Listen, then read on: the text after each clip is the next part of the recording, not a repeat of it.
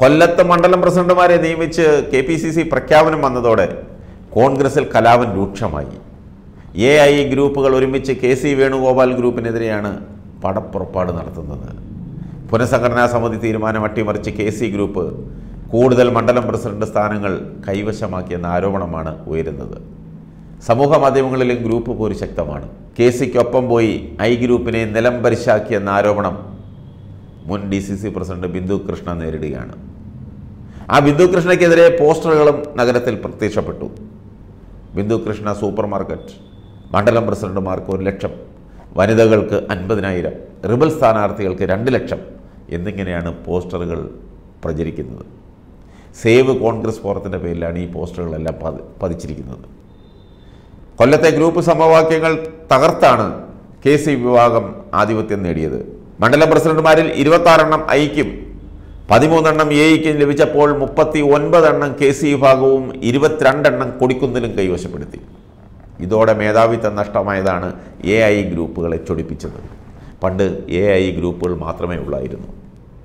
പരമ്പരാഗതമായി A I ഗ്രൂപ്പുകൾ ധാരണയോടെ കൈവശം വെച്ചിരുന്ന മണ്ഡലം കമ്മിറ്റികളാണ് ഈ പുതിയ മാറ്റത്തോടെ ഛിന്ന ഭിന്നമായത് ആകെ നൂറ്റി മുപ്പത്തി ആറ് മണ്ഡലം കമ്മിറ്റികളാണ് കൊല്ലം ജില്ലയിലുള്ളത്. ഇതിൽ എഴുപത്തെട്ട് പ്രസിഡന്റുമാരുടെ കാര്യത്തിൽ ഏകകണ്ഠമായി എടുത്ത തീരുമാനമാണ് പുനഃസംഘടനാ സമിതിയിൽ വന്നത്.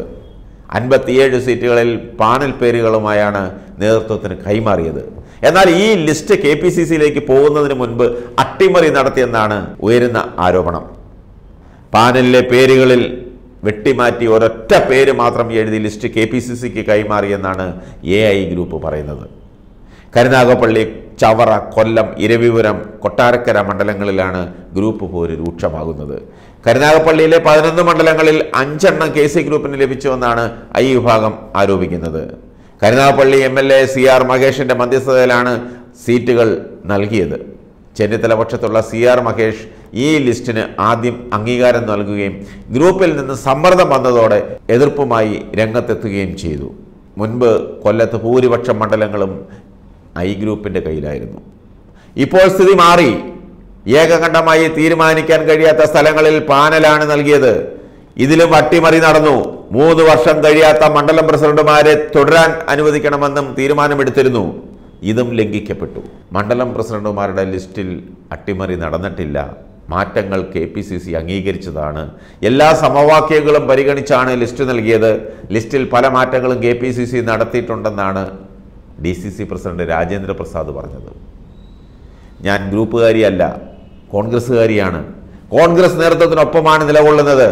എന്റെ പേരിൽ ഇറങ്ങിയ പോസ്റ്റർ ഒരു ചാനലിന്റെ സൃഷ്ടിയാണ്. മണ്ഡലം പ്രസിഡന്റുമാരെ തീരുമാനിച്ചതിൽ എനിക്ക് റോളില്ല.